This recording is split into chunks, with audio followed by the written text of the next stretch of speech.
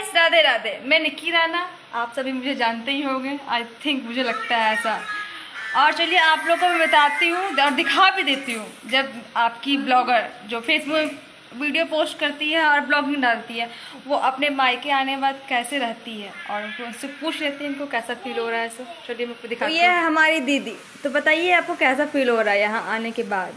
मुझे तो एकदम महारानी वाला फील आ रहा है। जैसे लग रहा है मैं जन्नत में हूँ और ये है हमारे जीजा जी। आपको बताइए आपको कैसा फील हो रहा है? यही तुमको ऐसा लगा कि हम यहाँ पे देवता के सामने बैठे हुए हैं। भोग मेरा तो ये तैयार हो रहा है। आपका भोग कौन बना रहा है बताइए? मेरी सासू माँ। ये है हमारी मम्मी जो अपने दामाद के लिए अपने हाथों से खाना बना रही है। क्या है मम्मी ये? दो शब्द अपने मुख से कुछ बोल दीजिए मम्मी। ठीक है।